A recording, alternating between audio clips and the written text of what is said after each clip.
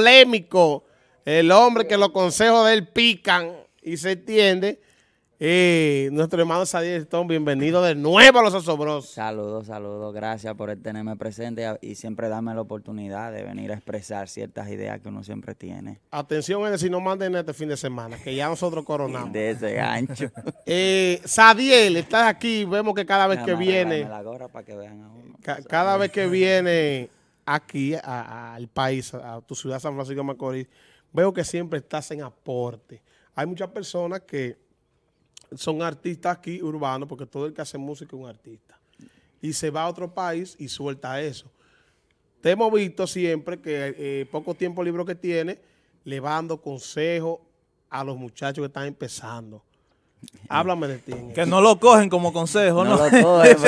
Son consejos, pero no, lo cogen como consejo. tú sabes que yo siempre, eh, por ejemplo, yo desde que empecé a, involucrarme en esto de la música, yo empecé aquí prácticamente en el, en el toque reggaetón que, que hacía Roberto. Y desde ahí empecé a, a, tomar en cuenta todos los consejos que me daban. Si de hecho, de aquel tiempo el único que se ha mantenido trabajando en la música soy yo, de casi 60 muchachos que participaron.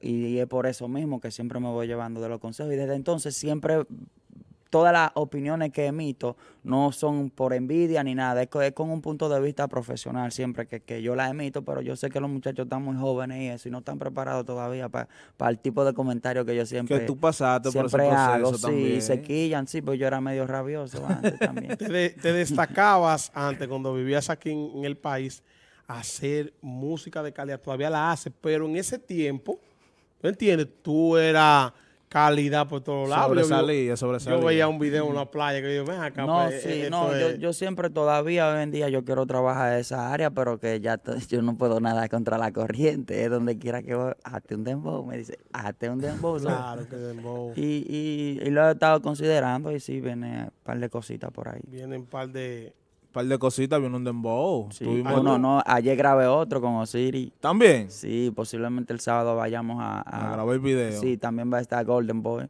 que es un muchacho que siempre viene, que Manuel Manuel no le trabaja los audiovisuales, Él, está radicado allá también. Sí. Vamos a salir los tres juntos. Entonces, háblame de ese proyecto con, con Mr. Diony, Ridelfi... eh, Xavier Stone, el Blinter. Oh, sí, no, yo le dije, Dios, ni voy para allá, quiero, quiero grabar un dembow, pero quiero hacerlo con Ridelfi, contigo, y agrega dos personas más que estén trabajando, que sean de los más, tú sabes, vine a reguindarme de los muchachos. ¿Y cuáles, se hizo? ¿Cuáles fueron? Eso, tú sabes, No, yo no sé, dímelo, dímelo. agregamos a Blinter, que Blinter siempre estaba enfocado trabajando, so Ridelfi, Diony, Diony, Diony tenía como 10 años quitado y ya está sonando más que todo el mundo aquí en Macorís. Mira. Sí, es la realidad, o no es la verdad. Tenía como 10 años quitado y vino y se puso y, en la discoteca está sonando más que, no, más que todos los muchachos. Mire, la gente no entiende. Cuando usted tiene talento de hacer música y usted se adapta a lo que es el tiempo y hace su dembow y otra cosa que se llama manejo. Exactamente. Y disciplina, Diony con la experiencia lo ha combinado junto a Bazooka Music y aparte de muchachos más, y en disciplina y manejo ha logrado conectar de nuevo con lo que es el público. Así mismo es, la, experiencia eh, no se improvisa. de hecho, eh, yo he visto varias entrevistas de él que donde él dice que él fue inmaduro en su momento y eso, pero que esta vez viene más enfocado y que... Más comercial, más comercial. Sí, está fajado. Para ¿Tú eras su segunda voz? Eh, sí. Ah, ok. Yo, mira, de hecho, siempre yo todo lo hago estratégicamente. Yo era doble voz de Diony eh, y, yo lo hice con la intención de aprender a desenvolverme en tarima.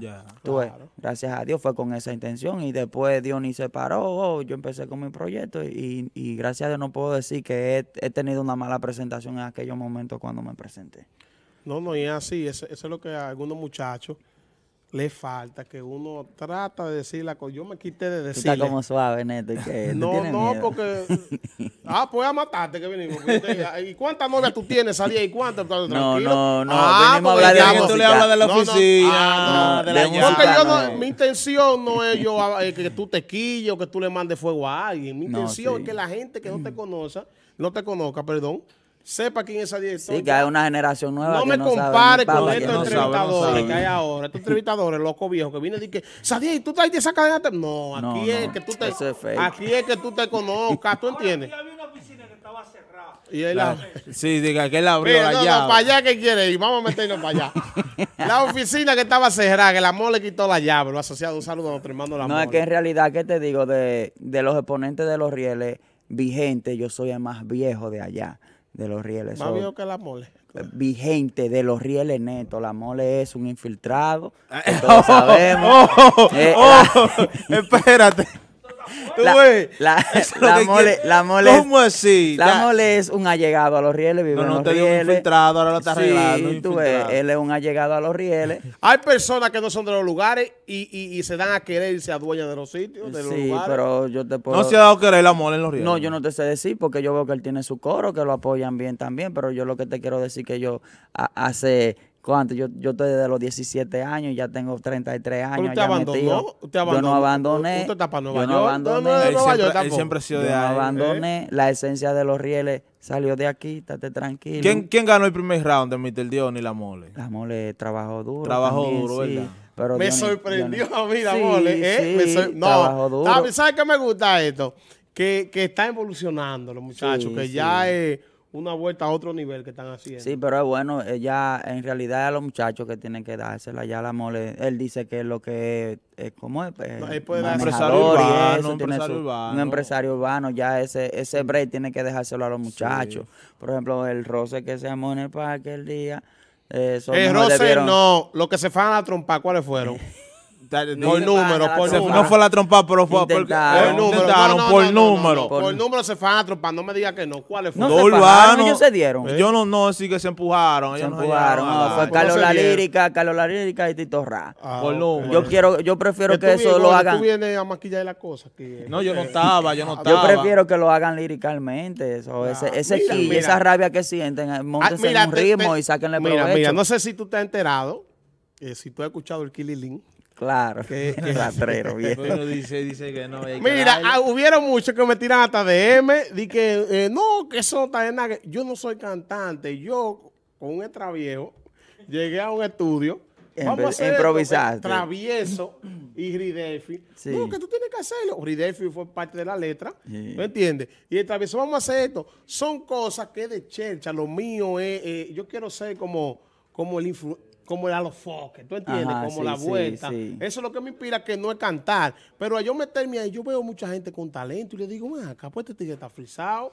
No, sí, de verdad, los muchachos están muy encerrados. eh, a veces yo me pregunto qué es lo que Y les que todito pasa. yo soy el mejor. ¿Qué tú opinas Ah, de no, eso? ¿Qué todito, tú no, soy yo el mejor, ¿Qué tú que tengo opinas más, de eso? que ¿Tú- tengo más que yo, ¿Tú, crees que los números realmente eh, eh, le dan el lugar que, que un artista se merece? ¿O- Los números se compran ahora. ten Se cuenta. compran. ¿Qué, ajá, tú, ¿verdad? ¿Qué tú opinas de eso? Mira, yo ¿Tú te voy a poner, que yo no voy- realmente- yo no voy a hablar por otra gente. Yo, Ajá. yo te voy a poner el ejemplo mío. So, yo, yo me llevé del de eso de, de los números, que la publicidad de Instagram, que la publicidad de YouTube, y cogí a invertir un dinero, tengo pila de views, pero nadie se sabe el tema Ah, mío. ajá. So, yo siempre he dicho, hay que hacer un balance. Desde ahí yo lo cogí. Oh, mira, invertí 500 en publicidad, pues déjame coger mejor 300 y distribuírselo a los influencers que hablen de mi tema Sí. y los otros Exacto. 200, aunque sean, un ejemplo, 200, cin- 280 views, 280 mil views, que sean 50 mil views, pero que la gente también Claro, esté que llegando. se- que se sepa el Que tema. se haga un Eso balance. se llama estrategia, que tú lo has aprendido con el tiempo. Sí, sí. Ya tú tienes experiencia. Si tú ves un, un muchachito que probó, un ejemplo, Carlos La Lírica, que tú un día quieras darle un consejo, mira, Carlos, porque Carlos La Lírica tiene un dembow, que se lo hizo el Sí, faraón. chamaquito tiene mucho talento. Ah, que eso, si hubiese trabajado, ese hubiese sido la cola motora. Sí, pero mayormente, como te digo, con la cuestión de los números, eh, a mí cada vez que yo veo a alguien fronteando con números, que yo sé la realidad del asunto, Sí. yo lo digo, veo qué hipócrita este tipo, ¿cómo tú vienes a vender No, eh, no esa movie y eso, cuando hasta los de Spotify se controlan, en el cierto sentido, cuando te meten a ti a una lista de reproducción con 10 millones de oyentes, ¿cómo diablo tú no vas a coger view? Que tú le sales, que tu canción se le reproduce sola. No es que la gente te anda buscando. la- las redes, eso- las redes eso- sociales no determinan el calibre de una No, persona, dice residente, no. dice residente. Es la realidad. Mira, y, y otro trabajo que tú tienes experiencia también, que es con los DJ. Hay muchas personas que no creen. Pero el DJ hay que hacer el trabajo. Y más ahora que hablan más que, lo, que, lo- que los locutores ellos. Claro, no, no, Sí. no, el- el- Atención, vecina. No, Sí, atención a este tema, mi gente. este eso. tema, entonces la gente, Sí, si le la gente gustó le el tema, sabe quién es atención. Sadie y va y le da de una vez a, Sí, a- sí. a YouTube. Por ejemplo, yo, yo fui a- al lugar que todo el mundo va aquí cuando uno llega Ajá. y, y yo escuché el tema de Gerald, el de el de el Popoleo. El po- Sí. ¿Me podía decir aquí? So, Ya. ya lo Ay, dije. Dios. So, es el tema de Gerald con los muchachos, escuché el de Diony y veía la- el anuncio que, que el DJ decía antes de ella, uno, pum, una vez le llegaba, ah, mira, esos son los muchachos. Déjame Kilili buscarlo". no sonó por ahí. Sí, el Kililín yo lo escuché también, yo lo escuché. Mira, eh, eh, el lío que, que Neto es- No, no, que yo no. Mira, ¿y, y, qué tú opinas de esta nueva generación de, de, de, de la música urbana, de los muchachos? Y leí esa controversia, por ejemplo, la perversa, que yo era el meloso. Estos muchachitos nuevos que están pegados hoy en día, pero como, con, con- como que no se saben manejar. Tú, Son- tú que paras viendo eso Son, y- más, son más personajes que artistas, en realidad. Mm. Sí, la realidad, son más personajes, personajes que que artistas. los Roche Porque, RD. Dime tú, si tú te fijas, mira a los foques, ¿por qué, traba- a- ¿por qué trabajó con Honguito? No fue por el talento de Honguito. En realidad, que ya. Honguito es una figura y todo el mundo lo conoce y- y, a la vez todo lo que tira Honguito de una vez van por de fulano. Pero... eh, eh, como te digo, él, eh, él y demás buscan la manera más fácil para conectar con el público y, y acuden a lo que a lo que genera morbo. Pero tú, puedes coger cualquier chamaquito nuevo y, y crearle una estrategia que también lo va a pegar con una música crees? eh, un poquito más de nivel. ¿Tú crees Piensa- que sea cualquier... tú- Piensa, piensas tú, Sadiel, que se rompió el hielo ya aquí en cuanto a, a, a temas, cuanto sonido. Todavía. No seas roto. Falta mucho. Yo, eh, lo primero que hay que hacer es sincronizar todas las plataformas que trabajen en conjunto.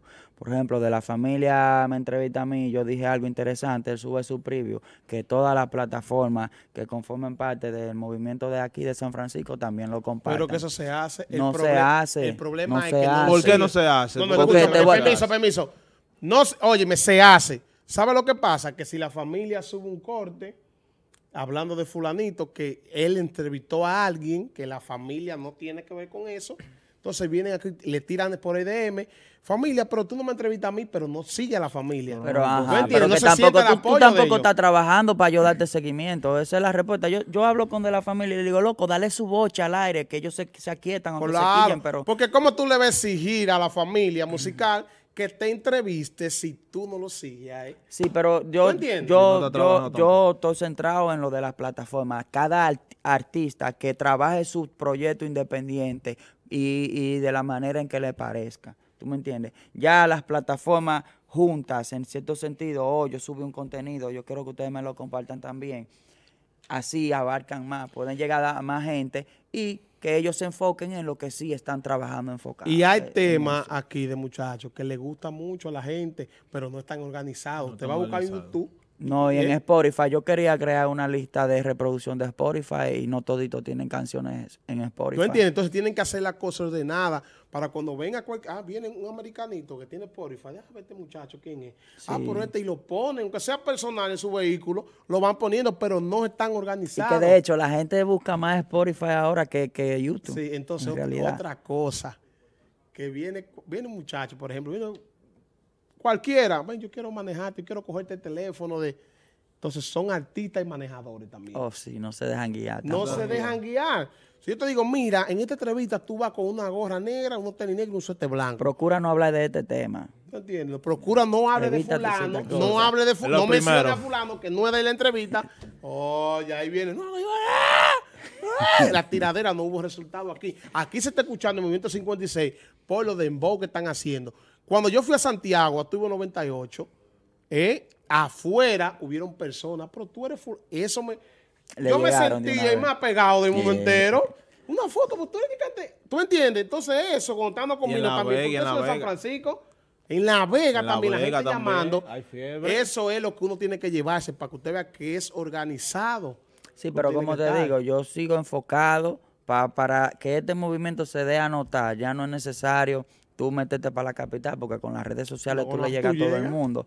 Entonces, tú como artista tienes que mantenerte trabajando constantemente, tra- eh, crear el presupuesto más económico o el más caro que tú puedas, o como tú quieras hacerlo, pero mantenerte trabajando. eh, y usted y ustedes como plataforma todito eh, ve cómo se reúnen y trabajar sincronizado, que así sí, ese es el primer paso para dar. Ya lo otro viene eh, paso por paso, pero yo creo que por ahí es que hay que empezar. Mira, Sadiel, en los tiempos de ustedes, vieja escuela, Corillo de Puente, Ceteclán, se Ya lo me hacían... está poniendo muy viejo. Espérate, se hacían par y pagaban No, sí. boletas. Ah, mira, ese otra. no que- se hace Mira, ahora? ¿por qué tú crees que yo siempre vivo con el afán del movimiento de aquí? Porque es que cuando yo empecé, yo me, yo me, mo- yo era fanático. Y yo veía a esa gente que el único medio que tenían era DJ Nelson y el macanazo, Macanazo, una hora una al hora. día. Y, y decían, oh, vamos a armar un tal party. Y se llenaban porque cada quien vendía boletas y eso. Y más hoy en día tú puedes llegarle a todo el mundo. Y de hecho, que esta generación de jóvenes son más ¿Qué? abiertos, son más, como digo, Ha- rural. que había, había un personal que vendía la boleta. De, de, por Sí. ejemplo, de, de la vieja escuela, un equipito. No, esos son los Sí. que venden la boleta. Esos son los que pegan los afiches. ¿Me Para entiendes? que Todo el mundo. Y ahora no. Se ha perdido eso, ¿Eh? se ha perdido. Sí, eso no, y en realidad no, la generación mía fue la mala. Fue la mala. Señores, Mucho talento y poco trabajo. Eh, Sadiel, un placer. que tú Gracias, gracias a aquí. ustedes. Tú sabes que tú eres de nosotros.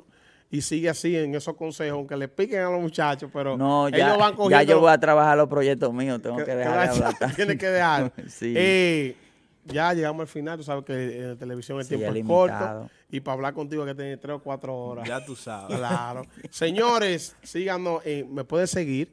Da las redes tuyas primero. Vale. Sadiel RD con doble D me pueden encontrar en todas las redes sociales. Sadiel RD. Con doble D. Sígueme Sadiel arroba con doble D. NetoFlow56 y la familia musical. Ya ustedes saben, Angel Lizardo también, mi Instagram personal. Síganme ahí para que se enteren de todo lo que pasa. Sí, pero pongan, tenía que poner un temite, Sadiel, para irnos No, ya. Señores, hasta mañana porque estamos como...